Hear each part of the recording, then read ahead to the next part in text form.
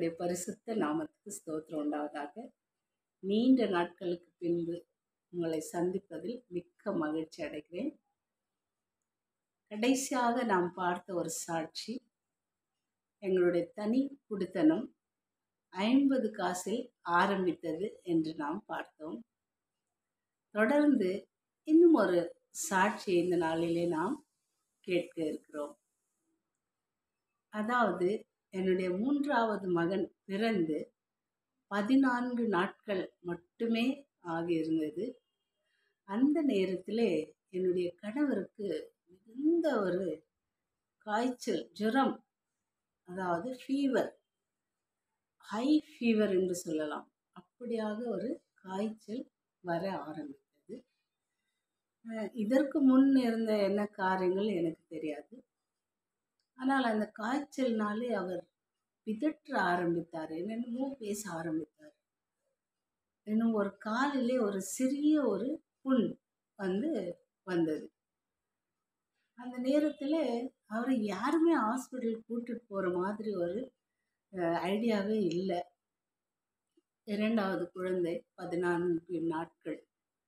பார்த்தேன் அவர் ஒரு வாரம் ஆனது யாருமே ஒன்றும் கண்டு கொள்ளவில்லை சரி நான் என்னுடைய அப்பாவுக்கு அவர்களை கூ அழைத்து அவரிடம் இந்த காரியங்களை கூறினேன். அப்பா இப்படி இருக்கிறது என்ன செய்ய வேண்டும் இவருக்கு என்று. ஓ அப்பா கேட்டார் அவங்கள ஹாஸ்பிட்டல் கூட்டிகிட்டு போனாங்களா? இல்லைப்பான்னு சொன்னேன். ஏமான்னாங்க இல்லை இவனுக்கு முதல்ல கூட இப்படி ரெண்டு தரம் ஃபீவர் வந்தது. நாங்கள் ரொம்ப கஷ்டப்பட்டோம். என்ன? இப்போ பார்க்குற நிலைமையில இல்லை அப்படின்னு சொன்னாங்க. அப்போ எங்கள் அப்பா சொன்னார் சரி உங்களுடைய அனுமதி இருந்தால் நான் இவரை வீட்டில் கொண்டு போய் இவருக்கு நான் சிகிச்சை செய்வே செய்யலாமா? என்று கேட்டார். அதற்கு என்னுடைய கணவர் அவரும் சொன்னார் சரி நான் அப்பாவுடன் வருகிறேன் என்று. எங்கள் மாமனாரும் சொன்னார் அழைத்து கொண்டு போங்கள் நீங்கள் தாராளமாக. இப்பொழுது நாங்கள் இவரை அழைத்து கொண்டு என்னுடைய மூன்று பிள்ளைகளோடு என்னுடைய அப்பா வீட்டுக்கு கடந்து சென்றோம். சென்ற பின்பு மருத்துவரிடம் அழைத்து சென்று எல்லாம் காரியங்களையும் நாங்கள் கேட்டு விசாரித்து அப்பா அந்த ட்ரீட்மெண்ட் வந்து ஆரம்பித்தார் அவருக்கு. ஒரு மூன்று மாதங்கள் இதற்கு தேவைப்படும் என்று டாக்டர் கூறினார்கள். அப்பா சரி என்று ஒத்துக்கொண்டு எல்லா ட்ரீட்மெண்ட்டும் ஆரம்பித்தாங்க மருந்து மாத்திரைகள் டாக்டர் சொன்னார் நல்ல ஊட்டச்சத்து கொடுக்க வேண்டும். ஏன்னா அவருக்கு முந்தைய ஃபீவர் வந்தது அப்படின்னு நீங்கள் சொன்னீங்க. அதனால் ரொம்ப கவனமாக இவரை பார்க்கணும் அப்படின்னு சொன்னாங்க. சரி எங்கள் அப்பா சொன்னார் எப்படியாச்சும் அவர் நல்லா அதாவது பரிபூர்ண சுகம் அடையும்படி செய்து உன்னையும் உன்னுடைய கணவரும் நான் அனுப்பி வைப்பேன் என்று சொல்லி மருந்து மாத்திரைகள் எல்லாம் ஆரம்பித்தார் நிறைய காரியங்கள் ஓடிக்கொண்டிருந்தது. ஆனால் அவருக்கு அந்த நேரத்தில் ஒரு காலிலே ஒரு புண் ஏற்பட்டு இருந்தது அதாவது இந்த ரைட் லெக்கில் முட்டுக்கு அந்த கணுக்காலுக்கு நடுவிலே ஒரு புண். ஆழமான ஒரு ஒன் இன்ச் அளவு அது இருக்கும். அப்படி ஒரு புண் அந்த காலிலே இருந்தது. அப்போது எங்கள் அம்மா என்ன செய்வாங்கன்னா காலை நேரத்தில் அந்த ரோட்டோரமாக இருக்கிற அந்த கரிசலாங்கண்ணின்ற அந்த இலையை கொண்டு வந்து அதை நன்றாக அரைத்து அந்த ஹோல்குள்ளே வந்து அதை போட்டு அடைச்சிருவாங்க. அடைச்சி ஒரு துணியில் கட்டிடுவாங்க. இப்படியாக இந்த ட்ரீட்மெண்ட் இன்னும் இவருக்கு ஃபீவர் இறங்கணும். அவ்வளோ ஃபீவர்னால் அவர் பிதற்ற ஆரம்பித்தார். ஏதேதோ பேச ஆரம்பித்தார். அது ரொம்ப மனசுக்கு கவலையாக இருந்தது. இந்த நேரத்தில் ஒரு நாள் எங்கள் சின்ன மாமியார் அவர்கள் இவரை பார்க்க வந்தார்கள். வந்தவர்கள் வெறுமனே பார்த்து செல்லவில்லை. எங்கள் அப்பாவிடம் சொன்னாங்க இவனுக்கு ரெண்டு தரம் வந்து டைஃபாய்டு காய்ச்சல் வந்தது. இந்த தரம் வந்து இது ரொம்ப முத்தி போயிடுச்சு அந்த காய்ச்சல். அதனால தான் இப்படியெல்லாம் இவன் பேசுகிறான் என்னை வந்து அந்த காய்ச்சல் தலைக்கு ஏறிவிட்டால் இவன் பைத்தியம் ஆயிடு விடுவான் விடுவான் அல்லது இறந்து போய் விடுவான் என்று ஒரு வார்த்தை சொல்லிவிட்டார். எங்கள் அப்பாவால் தாங்க முடியலை. அப்போ பார்க்கும்பொழுது எனக்கு இருபத்தி ஒரு வயசு தான். என்ன? அந்த நிழ சூழ்நிலையில் இந்த வார்த்தைகள் எங்கள் அப்பாவால் கேட்க முடியல தாங்க முடியல. அப்போ அவர் உடனே சொன்னார் அம்மா நீங்கள் வந்தீங்க உங்கள் மகனை பார்த்தீங்க நீங்கள் போகலாம் இனிமேல் இந்த மாதிரி வார்த்தைகளை வந்து என் வீட்டில் நீங்கள் பேச வேண்டிய அவசியம் இல்லை. இந்த மாதிரியெல்லாம் நீங்கள் பேசினா என் வீட்டுக்கு நீங்கள் வரக்கூடாது. அப்படின்னு சொல்லிட்டாரு. அவங்க ரொம்ப மன வருத்தத்தோடு அவங்க போயிட்டாங்க இந்த காரியங்கள் எல்லாம் நடந்த பின்பும் இவர் ஃபீவரில் அப்படியே பேசி கொண்டு இருக்கிறார் பேசும்பொழுது ஒரு நாள் காலை பத்து பத்தரை மணி இருக்கும். அவர் ஈஸி சேரில் நாங்கள் உட்கார வச்சுருக்குறோம். அவர் வந்து அந்த வானத்தை அண்ணாந்து பார்த்துட்டு இருந்தார் அப்படியே. பார்த்துட்டு அப்படியே தூங்கிட்டார் தூங்கும் பொழுது திரும்ப கண் விழிச்சிருக்கிறாரு. அவர் கண்ட ஒரு காட்சி. கண்ணை திறந்தே வைத்து அவர் பார்க்கிறார். பார்க்கும் பொழுது வானத்திலே மிகுந்த ஒளி அவரை கண்டிரு கண்டார். ஏன்னா இது எங்கள் வீட்டுக்காரர் சொன்ன சாட்சி. அந்த வானத்திலே ஒரு பெரிய ஒளியை அவர் கண்டார். அந்த ஒளியின் நடுவிலே சிலுவை காட்சி வந்து அவர் கண்டிருக்கிறார். சிலுவையை கண்டார். அதை பார்த்த மாத்திரத்திலே உடலிலே அநேக மாற்றங்கள் ஆண்டவர் ஏற்படுத்தினார். அவர் சொன்னார் உடனே அவர் எப்பவுமே ரொம்ப டல்லாக இருந்தார் அவ்வளோ ஃபீவர் தள்ளாடி நடப்பார். நாங்கள் அப்படியே பிடிச்சிட்டு போவோம். இப்படியெல்லாம் காரியம் இருந்தது.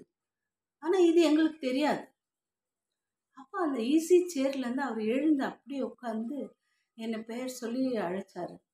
ஓ என்னங்க என்ன வேணும்? தண்ணி வேணுமா? அப்படின்னு நான் ஓடும்பொழுது இல்லை இல்லை இல்லை இல்லை. ஒன்றுமே வேண்டாம். எனக்குள்ளே ஏதோ ஒரு காரியம் என் உடலுக்குள்ளே வந்து ஒரு வைப்ரேஷன் போல் ஒரு ஷா ஏதோ ஒரு போகுது. அவர் சொல்ல முடியல. மின்னல் போன்ற ஒரு ஒளி எனக்குள்ளே போச்சு அப்படின்னு சொன்னார்.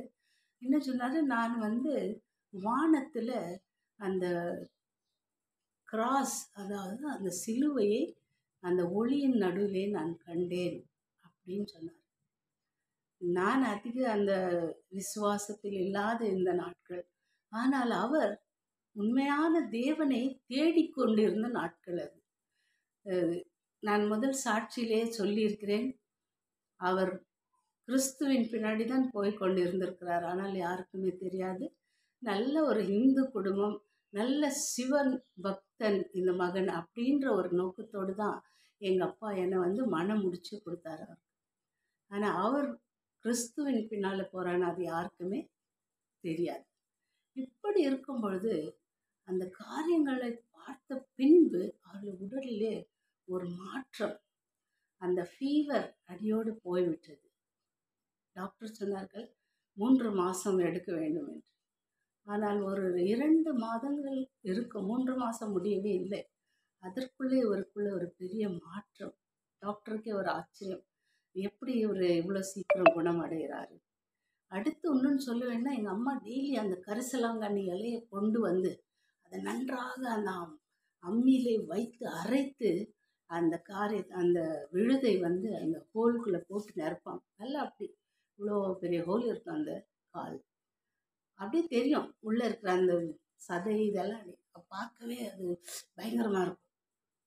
அதுவும் ஒரு ரெண்டு மூணு நாட்களில் அப்படியே க்ளோஸ் எல்லாமே வத்தி காய்ந்து போய் அந்த ஹோல் எல்லாம் மூடி போச்சு. கால் நல்லா ஆயிடுச்சு. கால் வலி இல்லாமல் போயிடுச்சு. இப்படியாக வந்து ஆண்டவர் மிகவும் ஆச்சரிய அற்புத விதமாக அவருக்கு அந்த டைஃபாய்டு காய்ச்சலிருந்து முற்றிலும் விடுதலை கொடுத்தார். இன்னும் அந்த காலில் இருந்த புண்கள் ஆறும்படி கிருவை செய்தார். அது மட்டுமல்ல நாங்கள் அதே டாக்டர் சொன்னது மூன்று மாதங்கள் ஆனால் எங்கள் அப்பா வந்து எங்களை விடலை.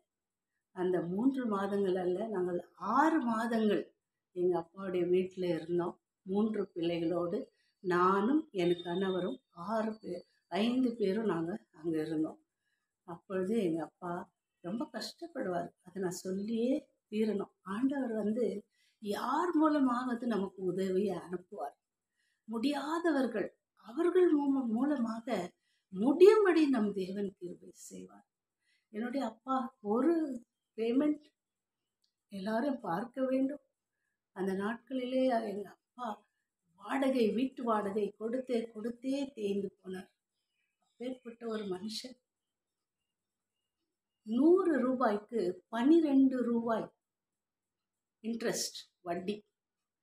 அப்படியாக கடன் பட்டு என்னுடைய கணவரை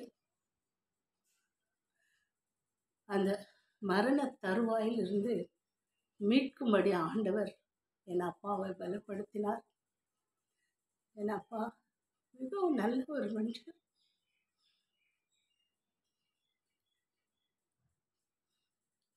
இப்படியாக எங்கள் ஐந்து பேரையும் வைத்து அவருடைய பிள்ளைகள் நாங்கள் ஆறு பேர் அப்படி பார்க்கும்பொழுது எல்லாரையும் பார்த்து அன்பாக நடத்தி ஒவ்வொரு மருந்து மாத்திரை. நல்ல ஆகாரம். என் குழந்தை பதினான்கு நாட்கள். குழந்தை பெற்று பதினான்கு நாட்களில் நான் வந்தேன். என்னையும் மிகவும் அருமையாக கவனித்துக் கொண்டார். இப்படியாக இந்த ஆறு மாதங்கள் நாங்கள் என்னுடைய அப்பாவின் வீட்டில் கழித்தோம். தேவ தரிசனத்தை என் கணவர் கண்டார். உண்மையுள்ள தேவன் அந்த தரிசனத்தை அவருக்கு கொடுத்தார். அதிலிருந்து என்னுடைய கணவர் மிகுந்த விசுவாசம் உள்ளவராக மாறிவிட்டார். ஒவ்வொரு நேரமும் சிறு சிறு காரியங்கள் எல்லாவற்றுக்கும் ஜெபம் செய்வது தேவனை பற்றி கொள்வது என்ற விசுவாசத்தில் மிகவும் உறுதியாகி போனார் எங்கள் கணவர். இதை நான் சொல்லியே ஆறு ஆக வேண்டும். இது ஒரு திருப்பு முனை என்னுடைய கணவருக்கு டேர்னிங் பாயிண்ட் என்று சொல்வது அது போல ஆவிக்குரிய வாழ்க்கையிலே ஒரு பெரிய திருப்பு முனை அவருக்கு. அதற்கு பின்புதான் மிகுந்த ஒரு கடவுளுக்குள் எப்பொழுதும் உண்மையா இருக்க வேண்டும் என்ற நோக்கத்தோடு அவர் வாழ ஆரம்பித்தார். இப்படியாக எங்களை வழிநடத்திய அன்பின் தேவன் இந்த ஒரு சிறு சாட்சி அவர் செய்த காரியங்களை உங்களோடு பகிர்ந்து கொள்ள கிருபை செய்தார். வருகின்ற நாட்களிலே மீண்டும் ஒரு அருமையான சாட்சியோடு உங்களை சந்திப்போம். எங்களுக்கு கிருபை செய்த அன்பின் தேவன் உங்களுக்கும் இதைவிட பெரிய பெரிய காரியங்களை செய்ய வல்லவராயிருக்கிறார் நாம் யோசிக்கலாம் இந்த காரியம் எப்படி முடியும்? ஆண்டவருக்கு தெரியும். யார் மூலமாக உதவி அனுப்பி நம்மளை வழி நடத்துவார். அப்பேற்பட்ட அன்பின் தேவனை நீங்களும் பின்பற்றி கொண்டு நடங்கள். வாழ்க்கையிலே அநேக அற்புத ஆச்சரிய விதமான காரியங்களை நாம் பார்ப்போம். நன்றி. மீண்டும் சந்திப்போம்.